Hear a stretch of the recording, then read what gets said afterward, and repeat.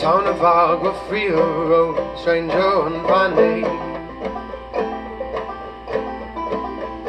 Didn't speak to folks around him, didn't have that much to say.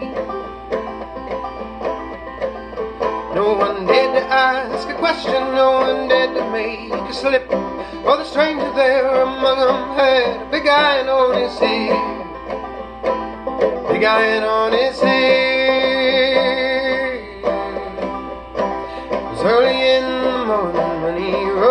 The town.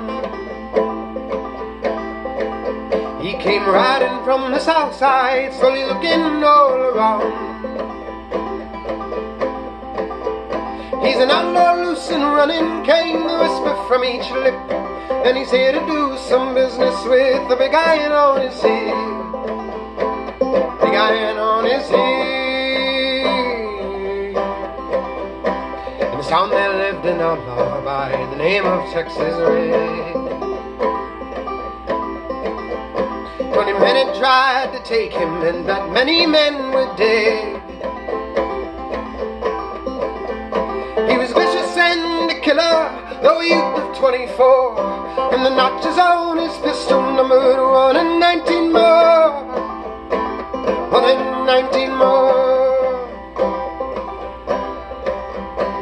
Stranger started talking, made it plain to folks around. Was an Arizona Ranger, wouldn't be too long in town. He was there to take an outlaw back alive, maybe dead, and he said it didn't matter. He was after Texas Red, after Texas Red. Was long before this story was related Texas Red. But the outlaw wasn't worried, men that tried before were dead. Twenty men had tried to take him, twenty men had made a slip. Twenty-one would be that ranger with the big iron on his head.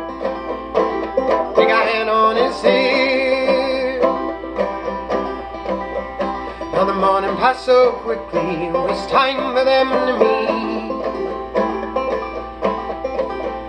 It was twenty past eleven when they walked out in the street. Folks were watching from their windows, everybody held their breath. For they knew this handsome ranger was about to meet his death.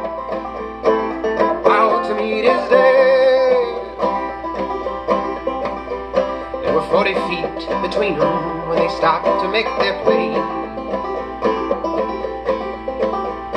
And the swiftness of the ranger is still talked about today.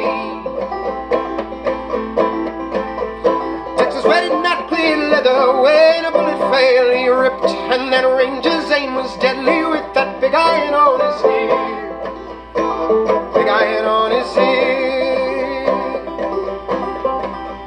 it was over in a moment the folks all there before them lay the body of the outlaw on the ground well, he might have gone on living, but he made one fatal slip when he tried to match the ranger with the big iron on his head.